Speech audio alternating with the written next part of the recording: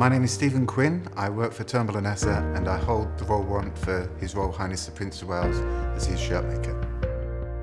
Turnbull and Asser were given the royal warrant uh, as shirt makers to His Royal Highness the Prince of Wales in 1982. We were one of the first companies to receive a royal warrant.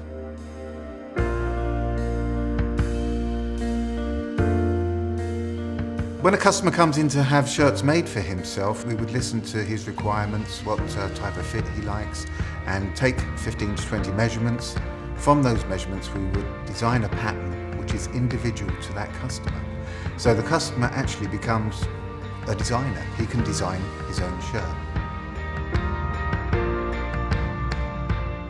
The choice of collars and cuffs is infinite. The collar can be moved by an eighth of an inch to make it more spread or less spread and the depth of the collar can be made a little bit deeper. So there really is hundreds of collars to choose from.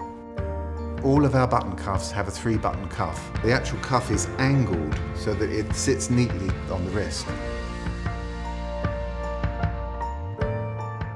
All of our uh, customers' measurements are kept in what we call a shirt bag, which is an individual file for each customer. It's almost like the doctor's records.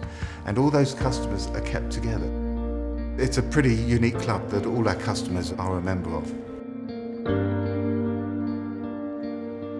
Amongst the more well-known customers that we have, we've made shirts for Sir Winston Churchill, Charlie Chaplin, Albert Finney, Pablo Picasso, and also President Reagan, to name just a few. Shirts are all handmade, they're cut by hand, which makes them so special because there is always that individual element about them.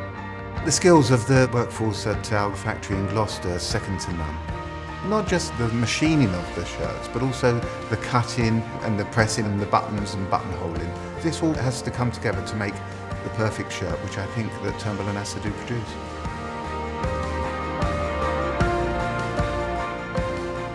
Buying a Turnbull and Asser shirt is part of the English heritage. You're buying part of England, really. The hundreds of years of experience that we have that goes into that shirt and the history that we have behind us is quite incredible.